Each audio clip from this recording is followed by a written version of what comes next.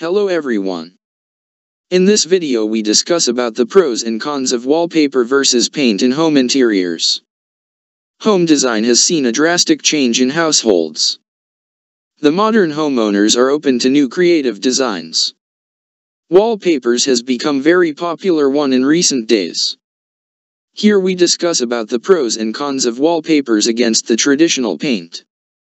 Let's look at the advantage of choosing a wallpaper over a paint. Wallpapers has lots of advantages and it lasts for more than 15 years or it is long lasting.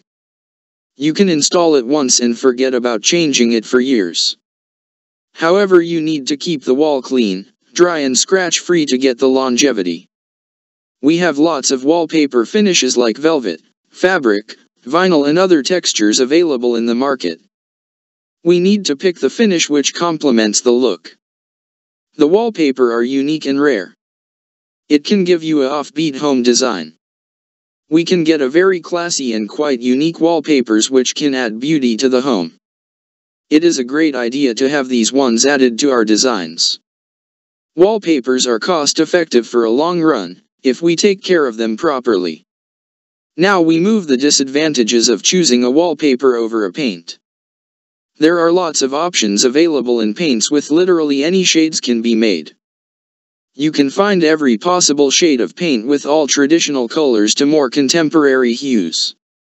You will not be disappointed by the options and can mix colors to get any unique shades, however wallpaper it is limited in availability, and also not many options available. Wallpapers shoots up the initial cost and hence it is more expensive than painting. If we want to change the look of the walls often then paints is much cheaper option. Wallpaper will be quite expensive. It is more sense to paint the walls as it is much cheaper.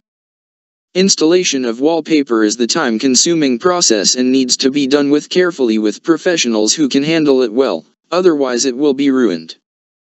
It is also time-consuming to remove an existing wallpaper. Painting is much quicker, you can paint over an existing layer, without having to remove an old layer. We need to take care of the wallpapers in order for it to last long. We cannot install the wallpaper to the areas which has excessive moisture. Hence we cannot install it in bathrooms and kitchen areas. Even a small damage or tear to the wallpaper needs complete replacement. This turned out to be much costlier. Final verdict is that both painting and wallpaper are great options for your home designs.